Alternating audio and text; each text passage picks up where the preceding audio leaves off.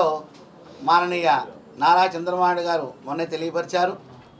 ఎలా అయితే ఒకప్పుడు జంట నగరాలుగా ఉన్న హైదరాబాద్ సికింద్రాబాద్ ఉన్నాయో మన గుంటూరు మన విజయవాడ జంట నగరాలుగా తీర్చిదిద్దాలని వారి సంకల్పం కూటమి ప్రభుత్వం ఏర్పడిన తర్వాత అంచెలంచెలుగా ఎదుగుతూ ఇవాళ భారతదేశంలో రెండు మూడు స్థానాలకు పోటీ పడుతున్న పరిస్థితిలో ఆంధ్రప్రదేశ్ కనబడుతుంది. ఇది చక్కగా ఆహ్వానిత పరిణామం.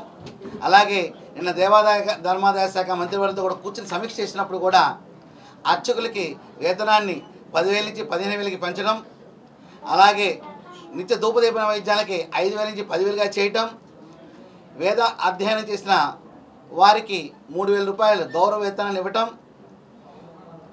మరియు ఎవరైతే శురకర్మ చేసేవారు ఉన్నారో నాయి బ్రాహ్మణులు వారికి కనీస వేతనం ఇరవై ఐదు వేలుగా నిర్ణయించడం ఇది చరిత్రకి ఒక మలుపులాగా పునరావృతం అవుతూ మరి సమాజానికి ఒక చక్కటి సందేశాన్ని. ఎందుకంటే ఎవరైతే ఎక్కడైతే కష్టపడుతున్నారో వాళ్ళకి చక్కటి ఫలితాన్ని అందించడమే కాకుండా మన ముందు మన ముఖ్యమంత్రి వాళ్ళ గురించి మనం గొప్పగా చెప్పుకోవచ్చు. ఏంటంటే పని ఎలా చేయించుకోవాలి వర్కర్స్ దగ్గర నుంచి అనేది ఆ క్రమశిక్షణ చంద్రబాబు నాయుడు దగ్గర నుంచి ప్రపంచం అంతా నేర్చుకునే పరిస్థితిలో ఉంది. ఇటువంటి జంట నగరాల్లో మరి మన గుంటూరుకి ఈ పశ్చిమ నియోజకవర్గంగా గల్లా మాధవి గారు ఎమ్మెల్యే గారు ఉండటం వారు ఈ కార్య కోవిల ఎక్స్చేసి ప్రారంభోత్సవానికి వచ్చి వారి యొక్క శుభ ఆశీస్సులు అందజేయడం కూడా చాలా ఆనందదాయకం. మేము కూడా ఎప్పుడు కూడా వారితో కలిసి పనిచేస్తామని వారి సహకారంగా ఉంటామని వారికి ఇంకా మరింత ఉన్నత పదవులు లభించాలని కోరుకుంటూ అనేక శుభ ఆశీస్సులతో శుభం పోయి భారతదేశం ప్రపంచంలో ఉన్న నూట తొంభై ఆరు దేశాల్లో ఒక హిందూ దేశం ఏదైనా ఉందంటే మొన్నటి వరకు నేపాల్గా చెప్పుకున్నాం. మనకి కొన్ని రాజకీయ ప్రలోభాల శక్తుల పదాన్ని రాజ్యాంగంలో జొప్పించారు. ఆ తర్వాత అందరిని సమదృష్టితో చూడమన్నారు.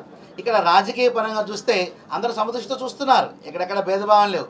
కానీ ఇది హిందూ ధర్మంతో హిందూ రాష్ట్రంగా ఉన్న ఈ ఈ దాంట్లో ఎవరి మత స్వేచ్ఛని కాపాడుకోవాల్సిన అవసరం ఉందని మనందరం తెలియపరుచుకుంటున్నాం. కానీ ఇక్కడ బలవంతో మత మార్పిళ్ళు ఈ యొక్క చాప కింద నీరులాగా మతాలు మార్చడం ఏ కొండ కనపడితే ఆ కొండ మీద సిరులు పెడతాం అనేది చాలా భయంకరంగా గత ప్రభుత్వం జరిగింది. ఇక్కడ ఈ ప్రభుత్వం యొక్క ఉద్దేశం ఏంటంటే ఎవరి మతాన్ని వారు ప్రచారం చేసుకుని చక్కగా ఉండి కానీ బలవంతం మత మార్పులు వద్దని మాత్రమే అక్కడ ముఖ్యమంత్రి గారు తెలియపరిచారు. కావున అటువంటి ఏ మతంలో ఉన్నా కూడా దాన్ని ఖండించవలసిన బాధ్యత అందరి మీద ఉంది. మన ప్రథమ పౌరుడిగా ముఖ్యమంత్రి గారు ఈ విషయం దృష్టి పెడతాం. చాలా ఆనందదాయకం. హిందువులకి ఎందుకంటే శాంతం అంటే ఎవరంటే అది హిందువులే. కాబట్టి హిందువులకి ఒక భద్రతా భావాన్ని కలిగేసిన ముఖ్యమంత్రి గారికి మేము శుభాభినందన తెలియపరుస్తున్నాం. ధన్యవాదాలు తెలియపరుస్తున్నాం. అమరావతికే అమరావతికి గుండెకాయ లాంటిది శైవక్షేత్రం. లోకేష్ గారు మొట్టమొదటిగా వారు ఒక ట్వీట్ చేశారు. ఏమని? మేము రాజధాని ఇక్కడ ఏర్పడదాకి రాజధాని మొత్తానికి ఈశాన్య దిక్కులో ఖచ్చితంగా రుద్రస్థానం శివస్థానం శైవక్షేత్రం ఉంది. కావున ఆరు నూరు నూరు అయినా సరే ఒక అంగుళం కూడా దీన్ని కదిలించే అవకాశం ఎవ్వరికి ఉండదని స్పష్టంగా ఆయన తెలియపరిచారు. కావున అది రాజధానికి గుండె స్థానం ఏడు ఎకరాల విస్తీర్ణంలో ప్రపంచ అద్భుత శివశాలి గ్రామాలు అక్కడ ఉన్నాయి. మేము ఇంతవరకు కూడా ఎవరిని ప్రత్యేకంగా ఆహ్వాన పలకల? రేపు కార్తీక మాసానికి ఈ డిసెంబర్లో రాజధాని పూర్తిగా ప్రా పనులు ప్రారంభమవుతాయని చెప్పేసి ఒక విషయం ఉంది. అందుకని కార్తీక మాసంలో ఈ రాజధాని పనులు ప్రారంభించే సమయానికి ఎటువంటి ఇబ్బందులు ఎదురవ్వకుండా ఆ యొక్క జంగిల్ క్లియర్ చేసేప్పుడు అనేక జీవరాశులు చనిపోతాయి కాబట్టి ఆ పాపం కూడా మా రాజధాని పడకుండా ఉంటాకి. మరి నెల రోజుల పాటు సమీక్షతలో కోడి దీపోత్సవ మహోత్సవ కార్యక్రమం అత్యంత వైభవపేతంగా ఆంధ్ర రాష్ట్ర వైభవాన్ని చాటుతూ చేయడానికి సిద్ధపడుతున్నాం.